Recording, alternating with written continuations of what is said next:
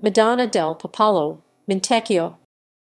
Madonna del Popolo is a Roman Catholic church located facing the town square of Montecchio in the province of Terni, region of Umbria, Italy. History The present church was erected by the Confraternity del Suffragio and is documented since 1618, and notes indicated consecration by 1634. In the past, the façade was painted with the coat of arms of Alfonso I d'Este. The interior has a single nave with a pitched roof. The lateral chapels include works by Giuseppe Boni, and a 17th-century canvas depicting the veneration of the Virgin and surrounding saints. In the past, the confraternity held the titles of Del Anime Purganti of the Souls of Purgatory, Del Santissimo Sang of the Holiest Blood, and Della Buona Morte of the Good Death.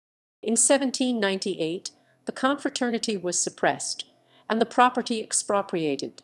The church passed on to other ecclesiastical groups. References equals equals